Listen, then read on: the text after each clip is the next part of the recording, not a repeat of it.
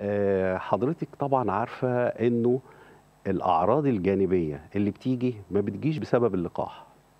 هي بتيجي بسبب مناعتك أنت للقاح طبيعة مناعتك للقاح. اللقاح ده معمول بياخده إنسان سليم ما عندوش أي حاجة. كان معرض إنه ياخد آه كورونا آه أي هي بقى متحورة ولا عادية ولا الكلام ده. فإحنا أنقذناه بإنه والله خلينا جسمه يبقى جاهز بوجود أجسام مضادة عن طريق اللقاح اللي أخده. وات ايفر بقى أو إيه هو نوع اللقاح اللي خده؟ كلهم بيعملوا الموضوع ده. فإذا أنا اللي جاله أعراض جانبية أو سخن أو جاله صداع أو حصل عنده مثلا دقات قلبه زادت أو الكلام ده كله يعرف إنه ده نتيجة طبيعة المناعة بتاعته. وده كان هيحصل له ايا كان خد نوع إيه؟ يعني أنا أنا أنا سخنت من اللقاح. خدت بقى الأسترازينيكا خدت السينوفارم. كان هيحصل لي نفس الأعراض ولا من واحد للتاني مع نفس الشخص تفرق؟ سؤال أحلى لأن هما اللقاحات مش زي بعضها.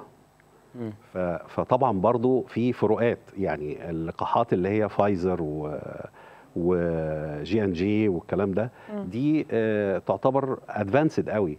فبتستخدم اللي هو ال RNA.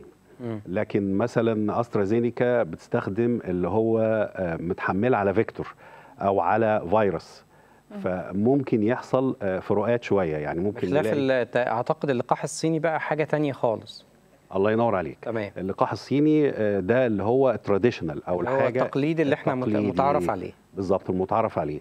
وأنا شايف في الحقيقة إنه كان ده wise جدا وحكمة من وزارة الصحة وهيئة الدواء إن اللي يبقى موجود بكثرة هو اللقاح الصيني لأن ده اللي إحنا اتعودنا عليه وده اللي إحنا عارفين وضعه إيه.